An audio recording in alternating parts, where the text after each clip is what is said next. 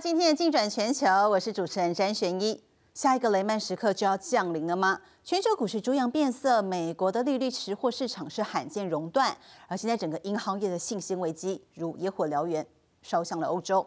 我们来看到，这有一百六十七年历史的瑞士第二大银行瑞士信贷，周三盘中股价暴跌百分之三十，债务违约的担保成本更是飙破纪录，拖累全球的金融股狂泻不止。最后是惊动了瑞士央行出面注资替瑞信挂保证，才暂时止住了恐慌。而今天欧股开盘，瑞信是强劲反弹百分之四十。可是这个市场恐慌一旦是扩散了，重建信心没有这么快，因为投资人开始担心谁可能会是下一家倒下的银行。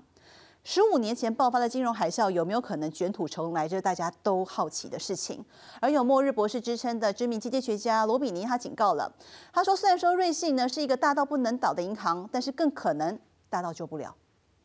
However, the problem is that Credit Suisse, by some standards, might be too big to fail, but also too big to be saved. The SVP was only about a 150 billion dollars of assets, while in the case of Credit Suisse, we're speaking about at least 700 billion. Something bad happening to Credit Suisse will be an order of magnitude more severe, something more like a Lehman moment.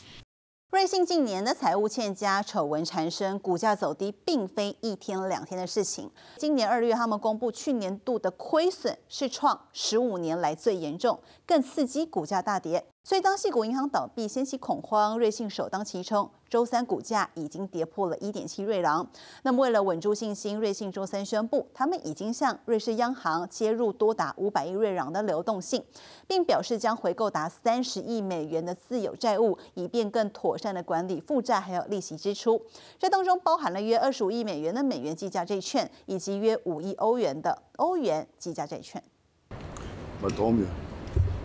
金融市场再先动荡，财务状况吃紧的瑞士信贷银行传出最大股东不再注资，因为市场恐慌，股票遭到抛售。十五号股价崩跌超过两成，连续两天创下历史新低，这也让才刚喘口气的欧美银行股再现新一波风暴。瑞士金融监管机关和瑞士央行当天紧急召开会议后，发表最新声明，出手相挺，表示央行将会在必要时向瑞信提供额外的流动资金，流动性危机暂时缓解。还强调，过去一周的美国银行风暴不会对瑞士的银行造成直接的蔓延风险，而且瑞信目前的资本率与流动性状况仍然符合要求。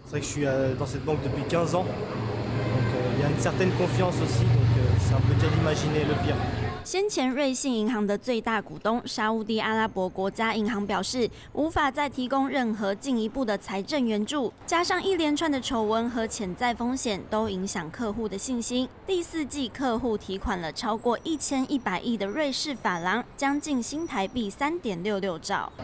Any money I have is here. 瑞信的财务危机冲击重创了全欧洲的银行信心。欧洲第二大银行巴黎银行股价重创，其他银行也都十分惨重。美国股市也开盘下杀，道琼收盘重挫两百八十点。美国银行、美国运通、高盛、富国银行通通受到拖累，大跌四到五个百分点。近新闻史方于戴佑任报道。瑞士信贷的财务状况危急，美国银行业的危机有扩散到全球的趋势。这促使的投资人进一步就大幅削减联储会会持续升息的压注，导致什么状况？导致美国债市周三去剧烈震荡，流动性急剧恶化。利率期货是罕见的触发熔断机制。我们以六月交割的隔夜单表融资利率 SOFR 的期货合约价格为例，这个期货价格呢，在纽约时间的周三早上短线快速上涨，结果在九点十四分左右触发熔断机制，暂停交易两分钟。而同样受到影响的还有七月和八月交割的合约，以及八月和九月的联邦基金期货。这些期货都是投资人压住联准会未来利率走向的工具。那随着联准会呢可能会停止升息，甚至反手降息的预期越来越高，美国的公债殖利率是应声大跌，而对利率敏感的短天期公债反应更是明显。两年期的公债殖利率已经从月初的高点下跌超过了一个百分点，来到了三点八趴附近。长天期的十年期公债殖利率降幅较小，目前回到三点四趴左右，两者利差明显缩小。华尔街日报指出，虽然利率上升会引发流动性问题，但这不代表利率下跌就是利多，因为银行业者的获利能力有可能因此受到冲击。好，不过大家都想问，到底这个已经有一百六十七年历史的瑞信百年老店，它到底怎么了？瑞士信贷曾经是全球的一线银行，但是在两千零八年金融海啸之后，它的丑闻不断，甚至还因为内扣失灵是连环的暴雷。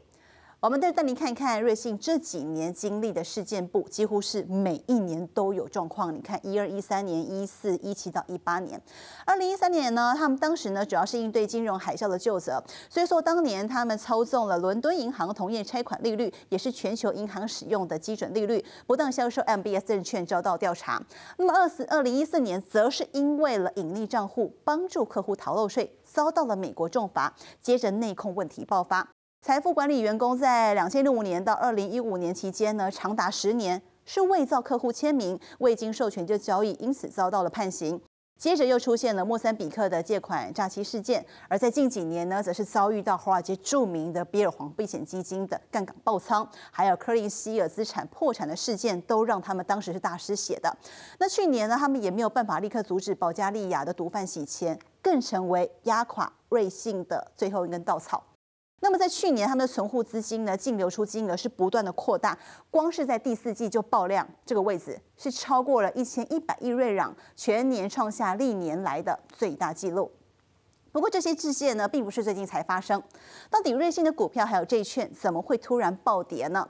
首先是在不久之前呢，瑞士提交的年报有关存款流入部分，他们遭到了美国证监会，也就是 SEC 来质疑，瑞信被迫延后财报的发布。西谷银行倒闭的风波一爆发，整个市场的恐慌情绪就蔓延。所以像瑞信这样子被打上问号、有疑虑的银行，就很容易被秃鹰盯上。再来就是瑞信的最大股东沙乌地国家银行周三拒绝增资，更给了一个抛售的绝佳理由。那除了前面提到的股票，瑞信的短期债券，包含了四月还有五月到期的债券，都是像自由落体一样直线下跌的。他们对于瑞信可能会出现流动性的危机，认为他们还不出钱来，这样的担忧加剧，反映违约风险的 CDS。CDS 简单讲就是这个瑞信债券的保险费呢，是瞬间冲上了新高，直逼两千零八年的美国投资银行当时创下的记录。那说到这边呢，大家就很想问了：既然瑞士信贷它规模这么大，它会不会成为欧洲的雷曼兄弟，导致新一波金融危机的导火线呢？从理性上来说，比较一下好了。而瑞信跟当年雷曼这个乱开杠杆投资高风险金融商品不一样。瑞士信贷银行它的流动性资产是很充足的，尤其呢现在又有瑞士央行搬钱来支持，不像在雷曼出事之前是没有人伸出援手。再加上去年呢他们资金大出走，他们已经对于这样的事情有所预防了，所以瑞信已经建立了很多的缓冲机制，他们可以支应长达一个月的大量资金外流，所以爆发挤兑潮也是足以来应对的。可是如果这是理性分析，那市场变得极度不理性的话，局势还是有可能。向上发展，瑞幸事件让整个金融市场猪羊变色。那下一段我们就来看看了，股票、债券都不安全，还能投资什么呢？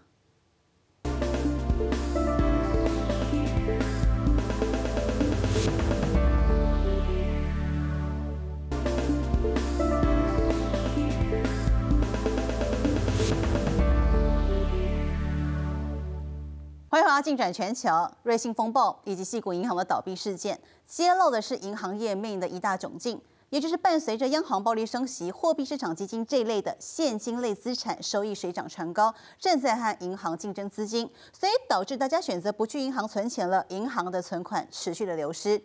那么，其实说到这类的现金资产呢，过去在低利时代被评为垃圾，但如今已经咸鱼翻身，成为股票之外合理的替代投资。现在 Tara 大行其道。Cash is trash.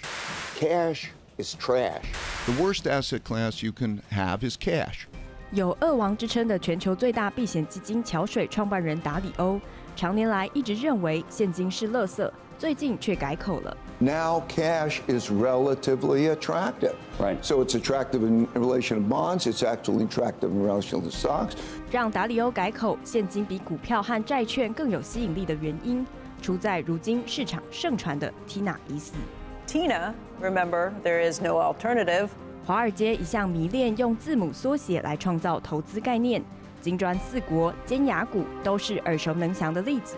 至于 Tina，指的是除了股票别无选择的英文首字母缩写。二零零八年金融危机后，曾被投资人奉为圭臬长达十余年。当时联准会的超低利率和量化宽松打趴了债券收益，并支持经济进入对股市而言最舒适的金发女孩状态。吸引资金滚滚流入，使股票回报一骑绝尘，造就美股史上最长牛市。但现在 Tina 走了，Tara 来了。US stocks are just not the only game in town anymore because you have treasuries. The risk free rate is 5%. You have money markets at 4%. And, and we've seen that in the stock market this year, where I think investors are getting tired of buying every small dip in the market as they were for much of 2021 and 2022. 瘟疫、战争、高通膨，加上央行升息狂潮，让剧烈波动回归资产市场，全球经济不确定性飙升，股市回报自然今非昔比。高盛于是提出 Tara，表示还有其他合理的资产标的可以替代股票投资。德意志银行等其他投行也争相创造新词汇，来凸显股票早就不是追求收益的唯一选择。Are bonds really becoming serious competition for stocks? And, and if so, what's this mean for stock market rallies this year? I, I, think they absolutely are becoming a significant competitor to stocks, frankly, to any risk asset. I mean, you talk about the two year, look at the six month. Right now, the highest yielding part of the curve is buying six month treasury bills. That's nuts. 伴随联准会采取四十年来最激进升息行动，包括银行存款、商业票据、货币市场基金和短期债券等现金类资产收益水涨船高。像六个月期美国公债，目前殖利率超过百分之五，等于只要等上半年就能安稳拿回本金，并获得百分之五以上回报。比起投资股市得自负有赚有赔风险，当然更有吸引力。It's a way to keep your powder dry. So, um, if if we think that we're going to have a troubling market ahead. earnings expectations are probably too high, rates need to adjust higher, at least higher for longer, then you want to see how that works out before you jump in and, and commit, especially if you can get paid to wait. 迈入 Tara 新时代，投资人的眼中终于不再只有高成长股票，现金为王再度当道，投资级债券和新兴市场资产也开始受到青睐。 从美股外寻求高收益，或许将成为投资人未来必须适应的新常态。金新闻刘丽珍、翁令奇报道。我们说到，在过去的超低利率时代呢，现金类的资产收益微乎其微，是毫没有吸引力的。可是现在状况不一样了。透过图表显示呢，这是彭博最新调查表示，在专业的投资人当中，有高达六成五的人认为，在今年持有现金资产不仅仅是避风港，还可以提升资产组合的收益。那么在散户当中呢，是有六成六的人抱持相同意见。而至于坚持现金资产将会拉低资产组合收益的人，在这两个族群当中呢，都只占比三成左右。那么确实，在过去几个月，现金类资产当中，短天期的公债尤其热门。美国六个月期的国库券殖利率在疫情前两年最高顶多大概这个位置，也就是两趴上下。二零二零年疫情爆发，联准会紧急降息到零，并且启动无限印钞，带动六个月期的国库券殖利率呢？你看到就降到几乎于零了。所以我们说，过去在低利时期呢，这类现金资产是乏人问津的。后来发生什么事情了？联准会开始激进升息，六个月期的国库券殖利率一路一路的飙升，在今年二月底升破了五趴。这是两千零七年来首见，而这几天呢，联准会升息将放缓或是停止的预期高涨，虽然促使这个殖利率回落，但是在目前的水准位置依然是接近了五趴。而从整个资金流向也可以看出投资人的资产偏好，这是截至到三月一号为止的七天内，在美国本土挂牌的四大类基金。我们看基金有哪四种呢？首先就是债券基金、股票基金，还有混合资产基金，通常我们加平衡基金以及货币市场基金。很明显，而当中美国股票基金净流出一百二十九亿美元，当周失血的金额创今年初以来最大，代表大家是在撤离股票市场的。但同时，货币市场基金。净流入六百四十九亿美元，金额创八周最大。其实这类的基金，它就是相对安全的基金，我们也被称为它是基金投资的停泊港。它专门投资流动性高又安全的短期证券。在整个经济展望不明朗以及升息的环境下，报酬率会上升，被视为是停泊资金的好地方。但随着投资人转向压住联准会暂缓升息，整个市场资金的后续动向。还是有待持续观察。不过，在货币市场基金之外呢，之前从股市出走的资金去哪了呢？还有一个长生处，也是今年夯得不得了的投资集债。截至三月初，全球投资等级还有新的级的基金呢，已经连续十个礼拜出现资金净流入，单周的净流入金额最多的时候接近是来到这个位置了，一百三十亿美元。那在最少的时候呢，也有二十五亿美元。那么算到三月一号为止的一个礼拜之内，流入的金额已经超过了。百亿美元累计下来哦，到今年你看，今年也才第一季而已，已经有近七百亿的美元流入在投资等级的信用债当中。好，那么谈完了投资布局，下段节目我们就要请专家来进一步分析，到底全球金融业的后续展望如何呢？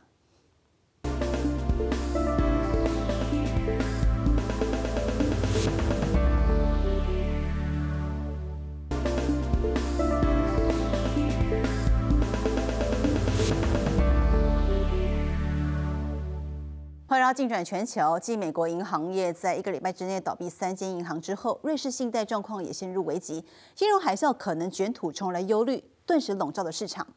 那么，针对后续的全融金融业展望议题，我们今天是请到安联投信的海外投资首席许家豪来替大家解析。